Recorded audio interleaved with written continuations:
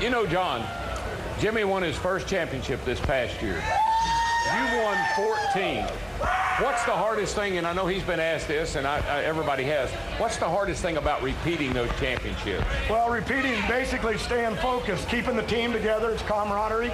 We have four Ford Mustangs under different banners with Castrol and AAA of Southern Cal, Auto Club, but keeping the team together that jives, that's the whole trick, and staying motivated.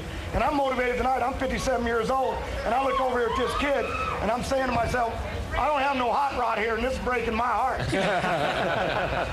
so how did... John, as I was looking through your records, it, it, was pretty intriguing to read. Like they mentioned, 14 championships, 122 wins, but the one number that really jumped out at me, 393 consecutive starts.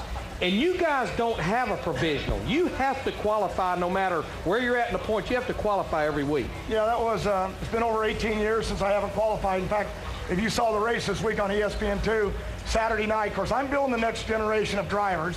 Uh, Robert Hight, my son-in-law, married to my oldest daughter. Uh, Eric Medlen, that was a bull rider, now that drives uh, one of my brands out there, and, and, just the young kids. And now my daughter, Ashley. Uh, you see him on the TV show on Driving Force.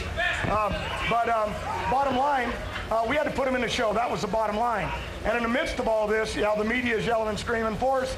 I got bumped out of the show. So here I am in the last session. We're all worried about rain. And uh, Ashley's in the show. She's on the bubble. And I bounce up. Now, I'm talking about my 24-year-old baby. And it's like, as a boss, I got to put in the show. I got to win. That's what Ford pays me to do. Castrol and all these guys, Mac Tool. In the middle of it, here I am, and I'm praying to God. I mean, I had, I mean, I got the Lord confused. and, and I, I, said, you know, I got to put this thing in the show. I got one last shot. The air was killer. My crew chief, and you count on your crew chief. He's the guy that really makes you who you are. That's the bottom line. And that's what we've been telling you. Yeah, say that. Yeah, say that. And, uh, right. It's not true. Oh, it's true. Not in every case. It's true. And, and right in the middle of it, uh, I said, Lord, put me in this show, and but don't bump my baby out. Like, you know, God looks at me like, okay, you, how are we going to pull this off? Yeah. So, so, my old heap, she trucked right down there, uh, was bumped up to number two qualifier, ran 70 flat and I bumped my kid out of the show. Now, if you've seen my TV show, A&E Driving Force, uh, I haven't the wife kicked me out nine years ago. Let's clarify, she loves me, she just don't like me. okay.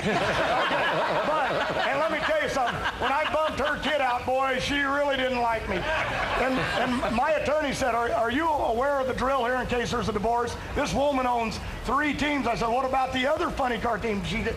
My attorney said she don't want the old guy. but but my daughter my daughter bounced right back in, put her right down the alley, calm and cool. She's got you know, she's got my drive, but she's got her mother's looks, million dollar smile.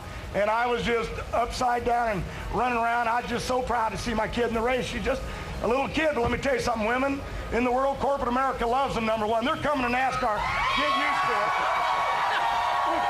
Jimmy, we've totally lost control, but why should that surprise us? Thank you very much.